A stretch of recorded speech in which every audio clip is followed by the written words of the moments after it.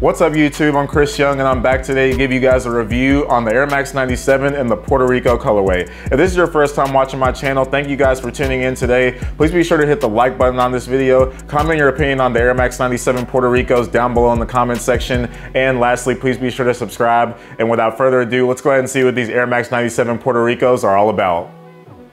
Alright guys, so the first thing that I would like to detail is of course the box. You can see the Air Max 97 Puerto Ricos do come in your standard Nike Air Max box, which are red all over, your Nike wording on the top, which is done in white. And then taking a look at the front of the box, the sizing tag does read Air Max 97 OG Special Project slash PRD. And the official colorway of this sneaker is metallic silver and varsity red. This is my personal size 12, and these did release on June 5th for a retail price of $175. So so thank you to my friend Jave Kicks who uh, basically dished these to me for retail. He knew I was very high on this shoe the minute it popped up on the sneakers app. And the reason why I was so high on this particular colorway is because it reminded me so much of the Air Max 97 Silver Bullets. And you know, the Silver Bullets are a little higher on the resale market now since they haven't seen a release since 2017. So I felt like these would be a great substitute for not having the Silver Bullets. And really the only difference between these and the Silver Bullet is wherever you would see black on the Air Max 97 Silver Bullets, it is replaced with this nice navy color on this shoe.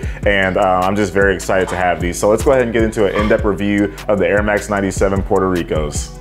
All right guys, so getting things started on the Air Max 97 Puerto Rico, starting out on the overlay of this sneaker, you can see this comprised of a synthetic leather and mesh. But when you take a look at the upper of this sneaker, you do have your infamous piping lines which wrap all the way around it. And these lines are inspired by the Japanese high-speed bullet trains back in 1997. Taking a look at the tongue of this sneaker, it is done in a gray mesh material. You have your standard Air Max 97 rope laces, which are also done in gray. And then once you make it to the top of the tongue, you have this navy nubuck oval patch right here. You have your varsity red Nike swoosh, which is stitched into the patch. And then at the very top of the tongue, you do have your Puerto Rico flag, which serves as the pull tab. So on the lateral and medial side of the overlay of this sneaker, you can see you do have these mesh cutout panels which reveal your Nike Varsity Red swoosh, which is outlined in navy. And then moving on to the inside of this sneaker, your inner lining is done in navy as well as your insole. So the insole of this sneaker has a white Nike swoosh. And then underneath the swoosh, you do have Aquí Me Quedo, which translates to I'll stay here in English. And then taking a look at the back of this sneaker, you do have a nylon navy pull tab, which has the Air Max wording done in this silver glittery fashion.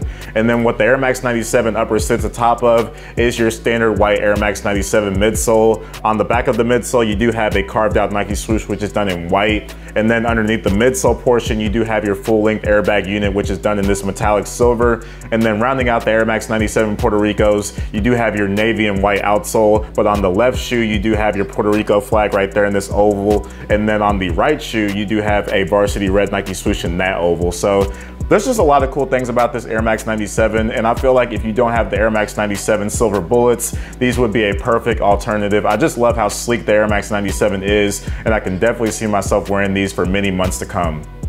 Alright guys, so the last thing that I want to go over regarding the Air Max 97 Puerto Ricos are the extra accessories that come along with this sneaker. So if you guys don't like the laces that were inserted into this sneaker, Nike did supply you with an extra spare pair of navy laces which have red and white accents on them. And then the thing that really sold me on this sneaker comes in the box. So when you guys get the Air Max 97 Puerto Ricos on the resale market, you guys will be impressed by this towel that comes along with it. And on the one side of the towel it is done in white and then on the other side it is done in navy. And then the text on the white side does read Puerto Rico Te Quiero, which translates to Puerto Rico, I love you in English. And I always harp on it, guys. Presentation is everything when you are getting these shoes, especially for resale, because you want to feel like you are getting what you pay for. And when I see extra laces, uh, extra towel, uh, special box, it just makes me as the consumer feel like I am getting what I pay for. So shout out to Nike for putting a lot of craftsmanship and effort into this particular colorway.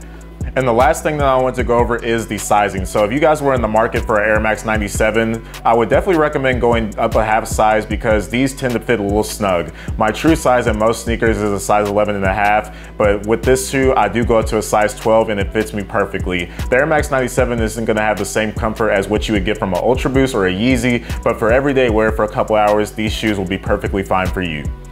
All right guys, so this pretty much concludes my review on the Air Max 97 Puerto Ricos. Let me know what you guys think about this particular colorway down below in the comment section. Leave a thumbs up on this video if you like what you saw today. And lastly, please be sure to subscribe to the channel. Thank you guys for allowing me to surpass the 1500 subscriber mark with this last video. Uh, the next goal obviously is 2000. So thank you guys for your continued support on the channel. And as always, I will continue to push out this content for you guys. And without further ado, it's time for me to lace up the Air Max 97 Puerto Ricos and show you guys what these look like on feet.